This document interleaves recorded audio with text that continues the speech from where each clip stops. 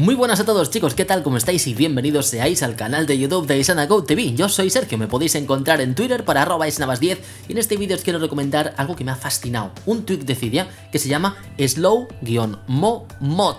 Es un tweak bastante chulo que es completamente gratis, que está disponible en el repositorio de Big Boss, es compatible con iOS 7 y que nos permite poner las opciones del slow motion que tiene el iPhone 5S en cualquier dispositivo de iOS.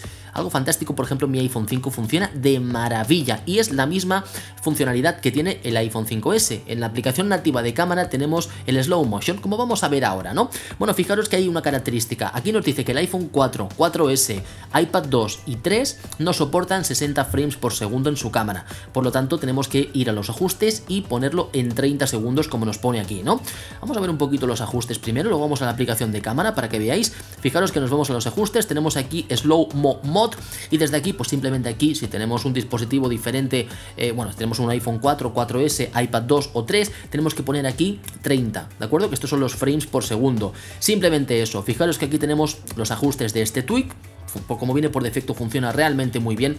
Vamos a irnos a la aplicación de cámara para que veáis un poquito donde tenemos las novedades. Fijaros que haciendo swipes nos vamos a mover y aquí nos aparece la misma opción que tenemos en el 5S, la opción de cámara lenta. Y posteriormente vamos a poder editar pues el vídeo que nosotros grabemos con cámara lenta y poner el clip que nosotros queramos. A nuestro gusto, pues en slow motion, en cámara lenta, algo realmente fantástico poder integrar esta funcionalidad que tiene el 5S que realmente está integrada en iOS, pero que podemos liberarla con este fantástico tweak de Cydia, un tweak muy recomendado que por supuesto recomiendo a todos los usuarios, sobre todo de iPhone 5, porque funciona realmente muy bien. Bueno chicos, aquí me despido, espero que os haya gustado y nos vemos en un próximo vídeo. ¡Chao!